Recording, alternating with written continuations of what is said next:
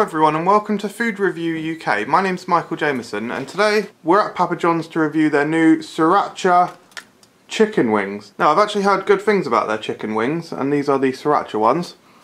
You can smell the Sriracha, the heat and chilliness of them. So I'm going to go for this one here. This looks like a nice one. There's not a huge amount of sauce on there but it just looks like an easy one to actually eat on camera.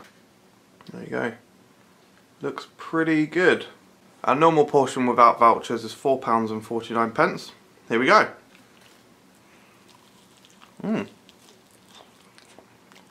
Seems to get a lot of meat. Mmm. Mmm. That is a lot of, um! That is a lot of meat. Chicken wing. Very flavoursome.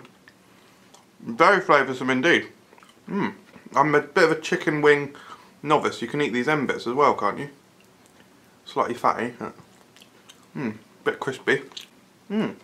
That's all uh, The chicken flavour is really good.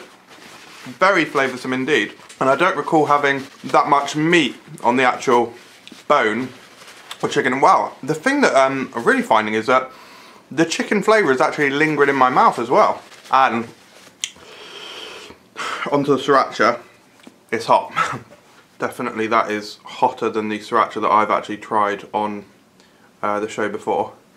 This one's got more sauce on as well, so this will be extra hot. Mm. The sriracha is zesty, got a good kick. Um, and the thing with sriracha is it doesn't really have a deep chili flavour. Like you can actually taste the chilies, which is nice.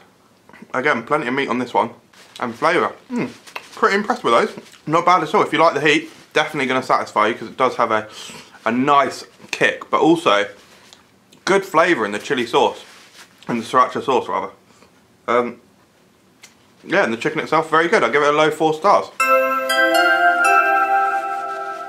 It is kicking my ass though. Definitely hotter than the sriracha sauce that I've got. However, it's very good. Thank you very much for watching everyone. Let me know if you have tried Papa John's new sriracha wings.